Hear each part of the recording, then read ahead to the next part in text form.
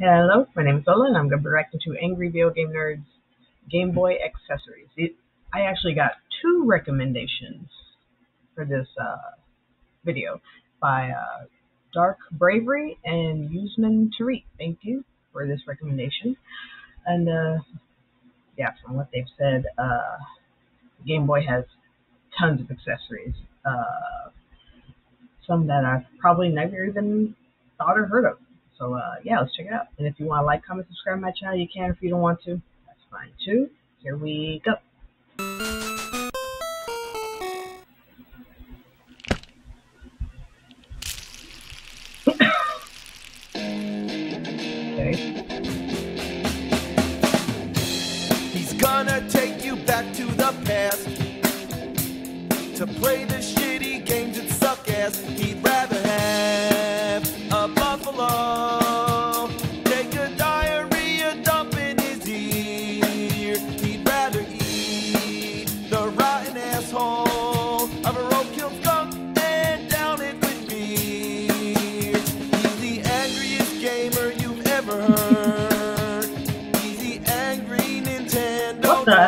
Hell is that? He's the angry Atari Sega nerd.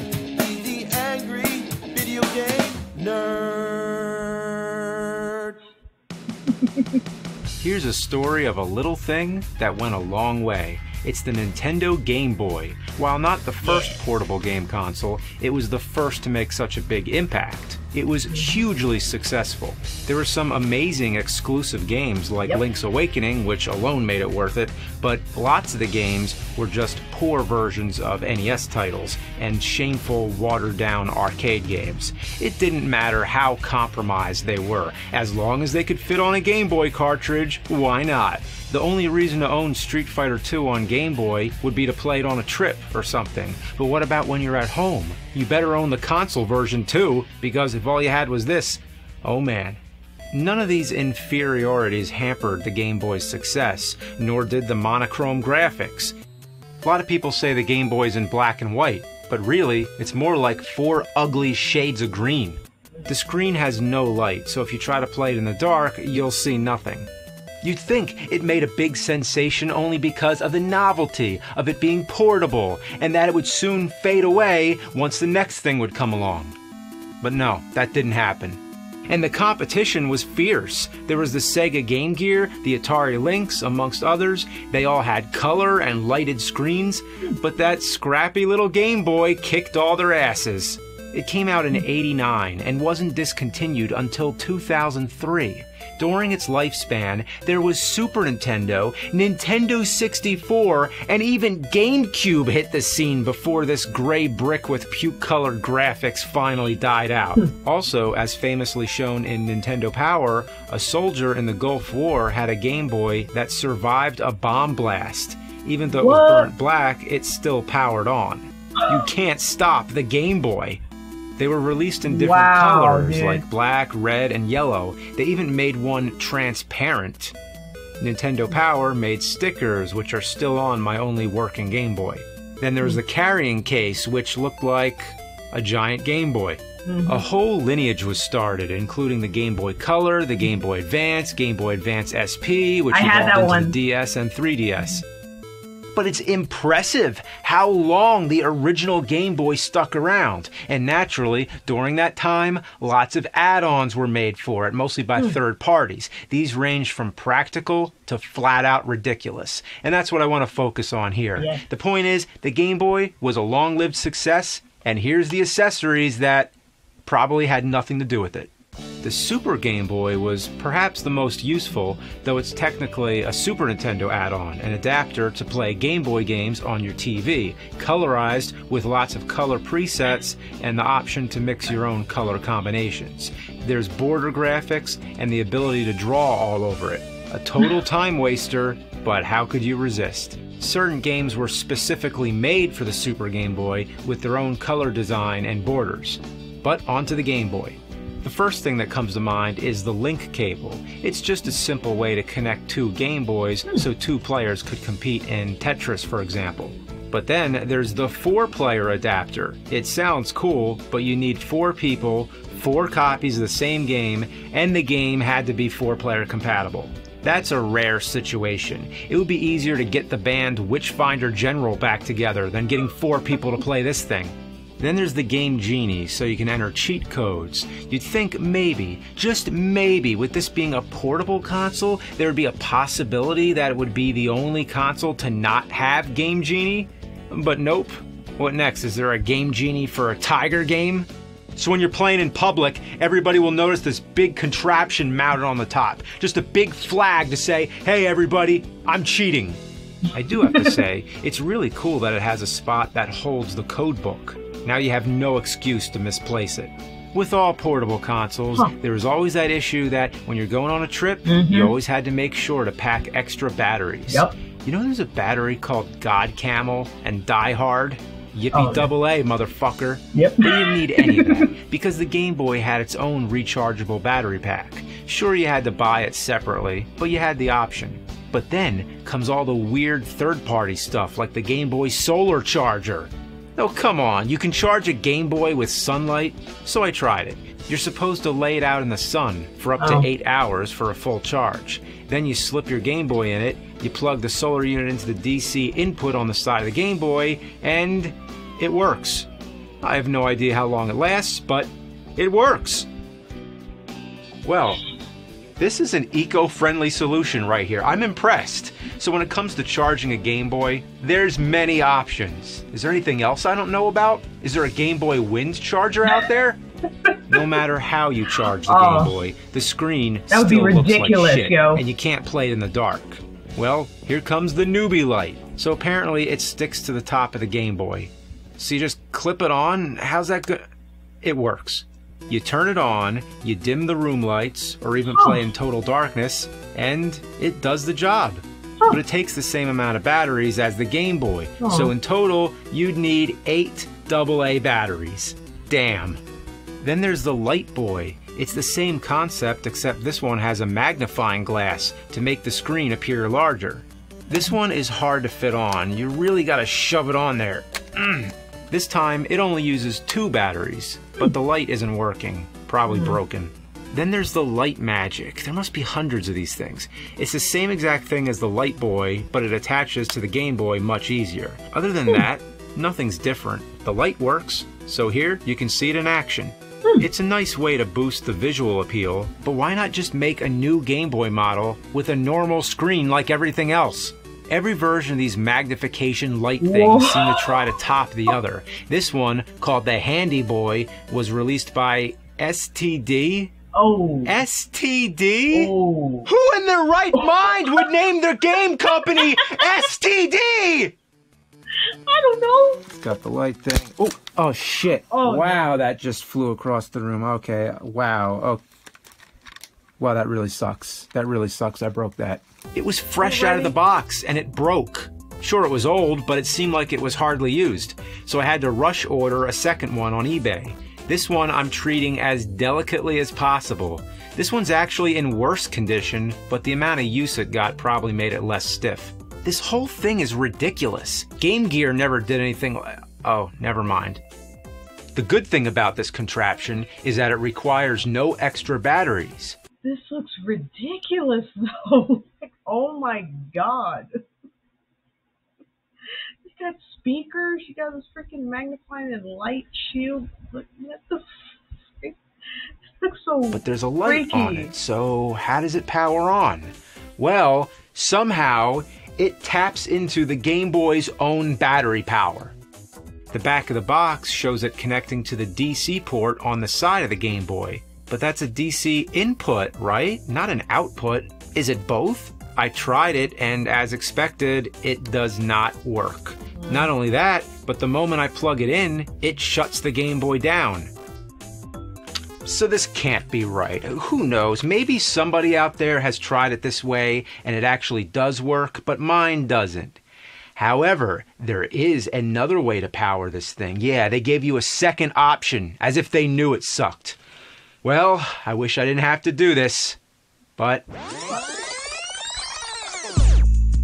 Yeah, look at that. You're supposed to stick it in the battery slot and lay the batteries over it so the contact points and the batteries sandwich it in place. And guess what? It works. Like shit. The light comes on and off at random. I have to constantly jiggle it around to get the light back on, but it keeps going off again. The screen magnification is alright, but as you can see, my glass really needs cleaning. Then there's the controller add on. What's the point of this? In case you didn't like the controller that was already there? It was fine enough. Why do you need this? Does it add anything to the game? Is it any better? No, it's fucking horrible. It's all stiff and awkward. Who'd want to play it like this? The speakers are meant to amplify the sound in case you didn't think the Game Boy's speakers were loud enough. Because that's what you want if you're in public, right? Like if you're on a bus, you want everybody to hear what you're playing. But the speakers on this thing are actually less loud than the Game Boy speakers. Hmm. Maybe they're full of dust.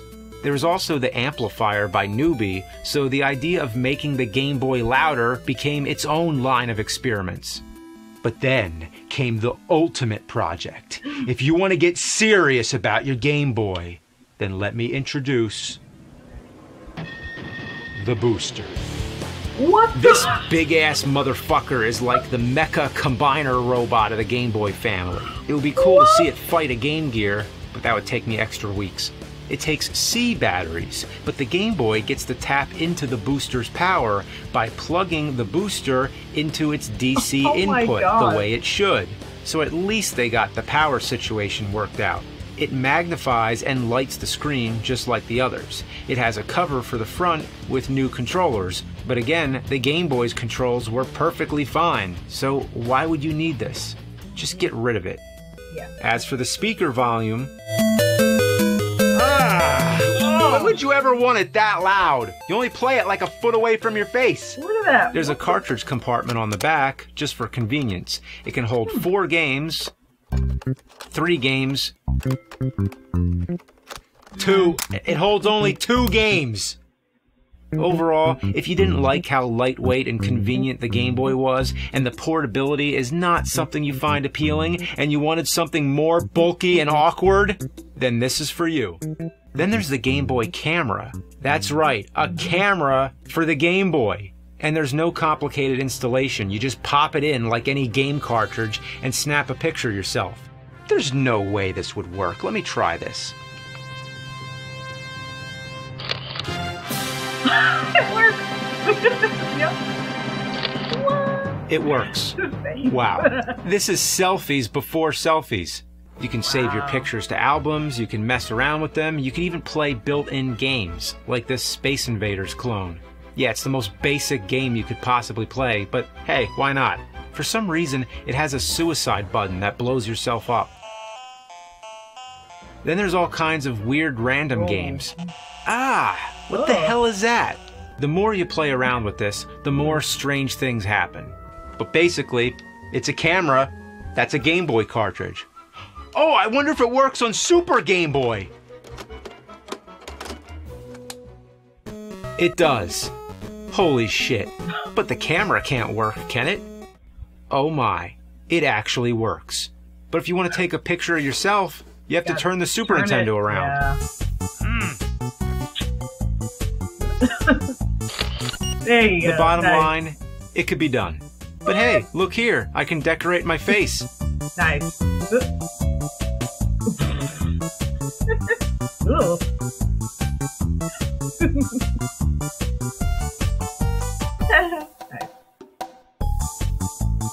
Now, this is too much fun. Also, there is the Game Boy printer, so if you want to print the pictures, yeah, that can happen. Hmm. Very nice. Wow. Awesome. Lots of these Game Boy accessories are rare. Is that a radio? Some of the ones that I couldn't get my hands on are the Game Boy FM radio, the Work Boy, where you can plug in a keyboard and turn the Game Boy into a personal computer, just in case you didn't like using a monitor, Then there was the Hudson Soft Kiss link, which allowed you to connect the Game Boy to the internet and download exclusive gaming content from Hudson's website. There was the Barcode Boy, which was a barcode scanner with games included, where you unlocked certain features by scanning barcodes found on cards and merchandise. There was the Game Boy Pocket Sonar, so if you bring a Game Boy on a fishing trip, you can detect fish up to 65 feet underwater. The Game Boy Color had a mobile phone adapter and a sewing machine. I repeat, a sewing machine that came with a game cart where you choose a sewing pattern. No way, dude. No way. You lying. No way. That cannot be real. You're making that up. No way. No way. pattern, and then the machine sews the pattern. There were also Game Boy shoes. Big platform shoes with spaces to fit your Game Boy Color. Yeah, No you look way. so fucking awesome. But then, to top it off, What? the grand Oh finale. God, what else? I'm not even emotionally ready to tell you about this. So just sit back.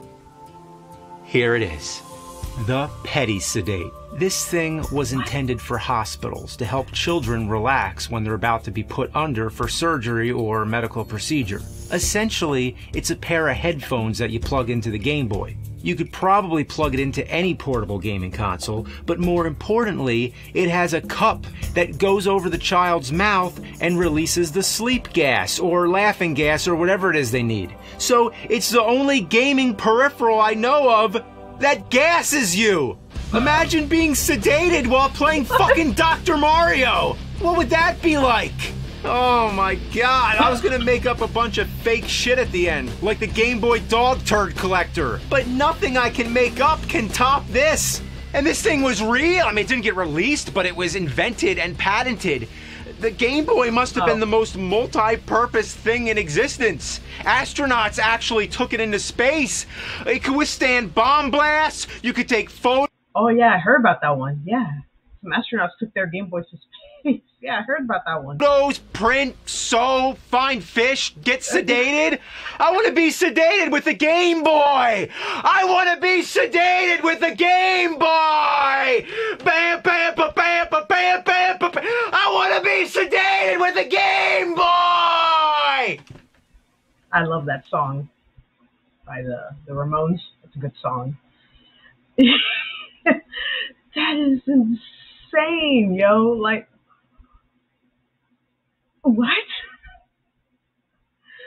like, oh my god, man. I'm hoping, I'm hoping he's lying. Like about the sewing and the sedated and the shoes one. Like, oh my god, those sound made up.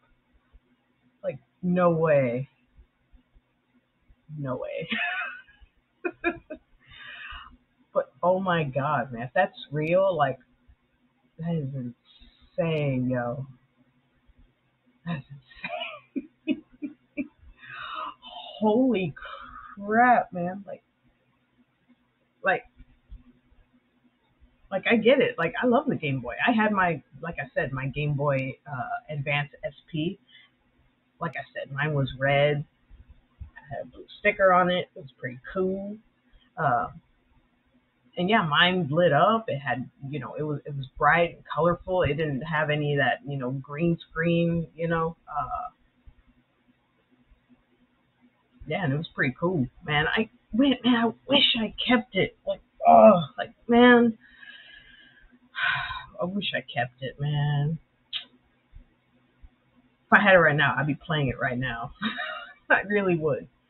But anyway, yeah, my reaction to Game Boy accessories by the Angry Video Game Nerd. Everyone take care of yourselves and each other, and I'll see you in the next one. Bye.